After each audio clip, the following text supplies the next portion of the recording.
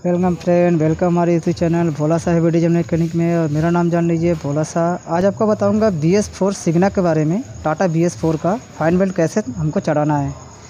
Fine belt जो आता है, आप लोग को ऐसा लग रहा होगा कि फाइन बेल्ट किस तरह चढ़ाएँगे, कुछ समझ में नहीं आता है। तो मैं आज आपको बताऊँगा बी एस फोर सिग्ना में कैसे फाइन बेल्ट चढ़ाना है। तो फ्रेंड, सबसे पहले क्या करना है, आपका अगर रेटर लगा हुआ है तो सबसे पहले ये क्या है, पट्टी खोल लेना है और ये जो वायरिंग जो दिख रहा है आपको, इस सॉकेट को निकाल देना है। ये देखिए, निकाल कर दिखाया हमें। ये सॉकेट जो है, निकाल लेना है। ये निकालने के बाद आपको क्या होगा फाइन बेल्ट एकदम आसानी से लग जाएगा। तो ये निकाल कर आपको इसमें अंदर डाल देना है। अगर रेटर नहीं नहीं खुला है तो इसके अंदर से डाल देना है। ये सॉकेट हमने खोल दिया है। आपको दिखा रहे कैसे सॉकेट निकलेगा। इस तरह से निकल जाएगा और लग भी जाएगा। ठीक है गाइस तो उसके बाद क्या करना है? आप देखते रहिए।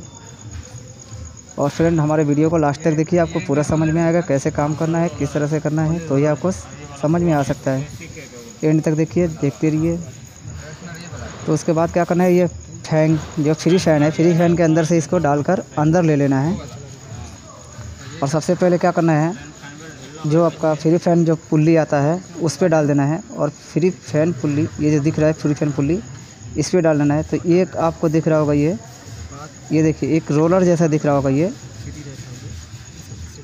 तो इस पर आपको डाल लेना है कुछ इस तरीके से, नीचे से। ये देखिए, नीचे से यहाँ पे आएगा। और ये जो दिख रहा है आपको, डायनेमा जैसा है तो ये डायनेमा नहीं है, ये एसी के लिए दिया हुआ है। बी एस फोर गाड़ियों के लिए एसी के लिए। उसके बाद एक और इसके नीचे से आएगा। इसके नीचे से आपको लेना है, उसके बाद ये देखिए, छोटा सा एक और रोलर दिख रहा है आपको। टायर जैसा दिख रहा होगा आपको।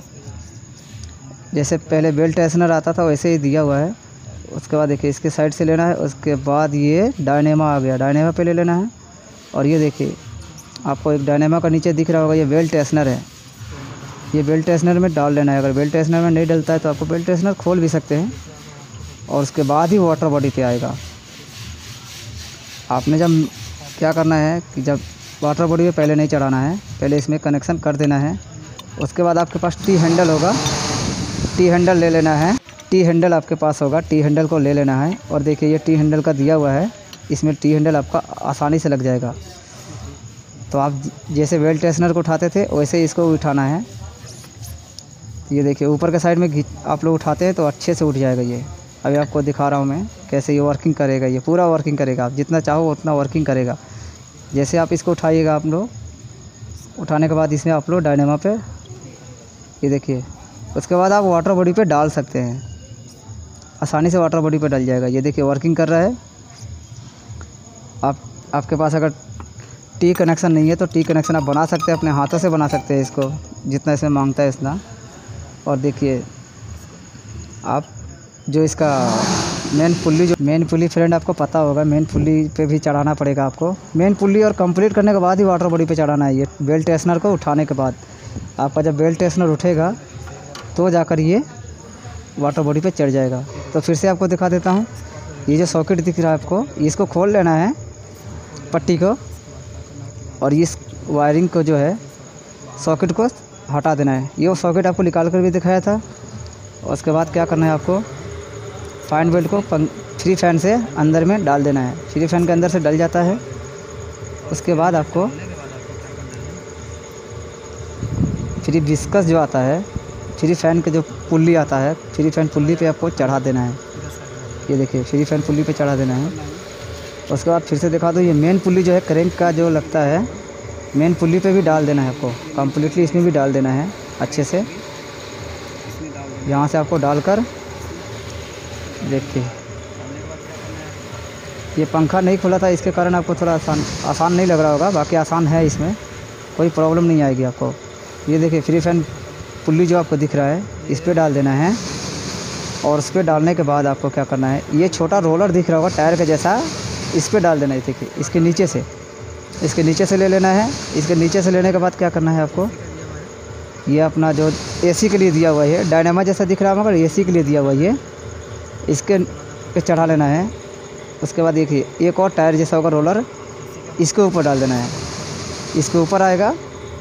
ये देखिए, इसके नीचे से ले लेना है।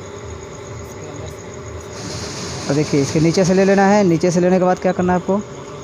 इस पर डाल देना है। इसके बाद ये छोटा रोलर जैसा आ रहा है, आपको दिख रहा है। टायर जैसा इस पर डाल देना है। और इसके नीचे से फिर से आपको डायनेमा पर ले लेना है। ये देखिए, डायनेमा। इसके नीचे से आएगा डायनेमा।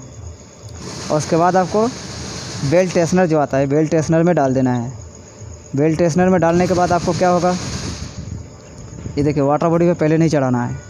बेल्ट टेस्नर में डाल देना है। उसके बाद बेल्ट टेस्नर में आपके पास टी हैंडल या टी कनेक्शन, कोई भी ऐसा वस्तु है आपको जो लगाकर आप इसको टेंशन को कम कर सकते हैं। देखिए वर्किंग करके दिखाता हूँ आपको कैसे वर्किंग करता है। आप लोग भी ऐसे वर्किंग करके देख सकते हैं चेक कर सकते हैं, कर भी सकते हैं, आपको कोई दिक्कत नहीं है आपको।